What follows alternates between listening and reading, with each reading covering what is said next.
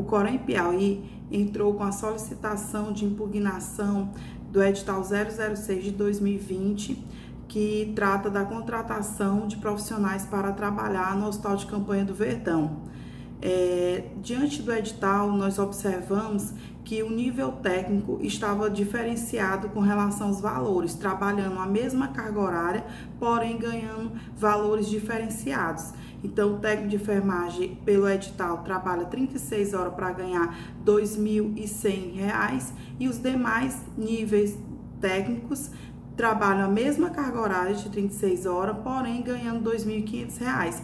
Então, isso fere o princípio da isonomia e da igualdade, visto que o profissional técnico de enfermagem, ele tem toda uma formação para trabalhar na área e também é o que mais se expõe, porque é o que vai ficar 24 horas do lado do paciente.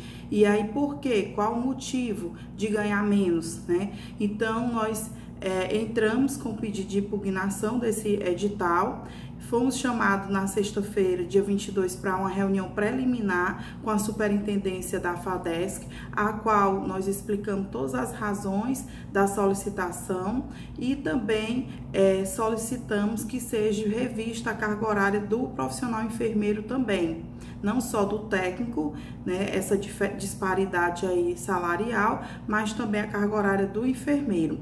E estamos aguardando agora que eles analisem e nos deem alguma resposta com relação à nossa solicitação.